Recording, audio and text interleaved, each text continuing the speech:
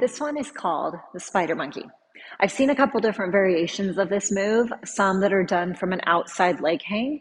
This one is going to be done more from like a figure four layback, or I'm going to be doing it from a stargazer entrance.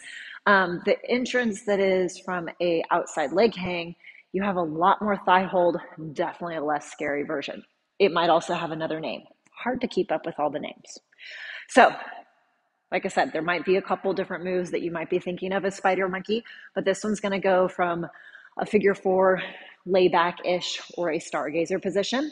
So for this one, there's going to be some serious grippage needed with a knee and all down your thigh. Okay. You don't have to wear itty bitty booty shorts so you have more shorts, more booty on the pole. If you want to, go for it. But obviously, my booty's not sticking out very much. I'm still able to hold it. Okay. So you can go lots of booty and use that to your advantage or not, but don't feel like you have to change your shorts if you don't want to. So for this one, like I said at the beginning, I'm going to start from a stargazer. Grip with this inside knee. I find the stargazer kind of helps put it in that position. You can also start with a figure four. I just like the stargazer one better. And if you're super bendy, you can make that a super bendy stargazer and then go into this one. So once you got the stargazer position, which is the opposite hand to leg, the free leg and the free arm are then going to connect. So, to fully extend that free leg, it is definitely going to take some hamstring and adductor flexibility. Okay, so if you have to plan accordingly for which is your better, more flexy leg, this is the time to pause and think about that. But that being said, um, you can grab differently. I do find with this move to be able to take that leg around straight flexibility wise, I'm capable of grabbing it.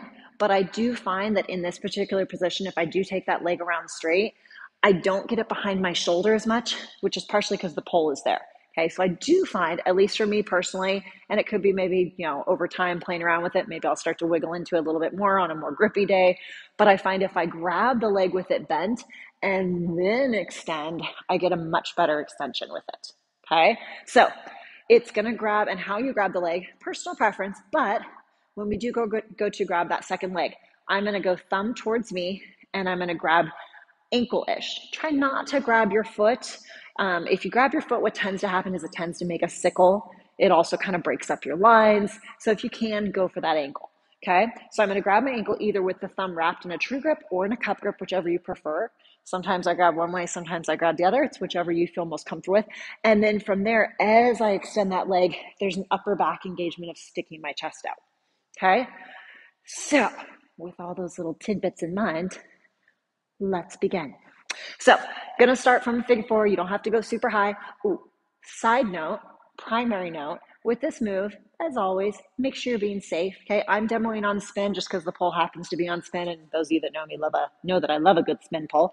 Um, but make sure that you have a spotter, mats underneath you because this one is a head down position, which means if you do happen to slide, it's a little hard to grab and catch yourself. So always safety first. Make sure that you're being careful as you're working on new moves.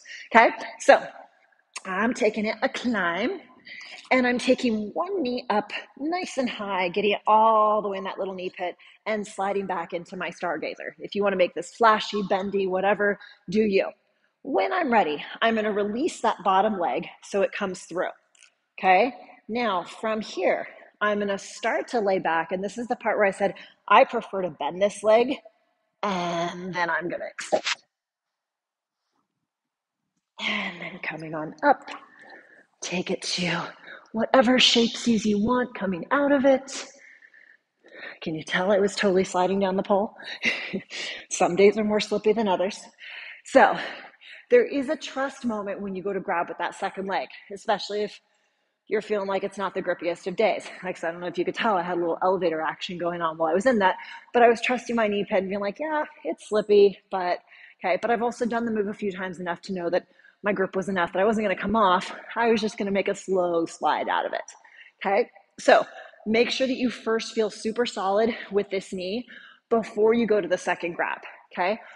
Something when you go for that second grab, our tendency when things get scary in pole, in life, some of you probably heard me say this before, is our tendency is to want to do this because it's scary. Okay. With this move, when you go to grab that leg, the tendency is to kind of, oh gosh, I'm sliding. And trust me, I have to fight that urge too. But what's actually going to increase this thigh hold, all this going on the pole, is when you go to grab that second leg, do this. Okay. A, that's going to get the leg through. And in doing that, it's going to push your butt back into the pole more. Okay. So this is the spider monkey. Try it on spin, try it on static, try it safely, play around with it, put it in a combo, a photo shoot, have some fun with it. Let me know how it goes. If it turns you have another name for this move, please let me know because trust me, I can't keep up with all the names.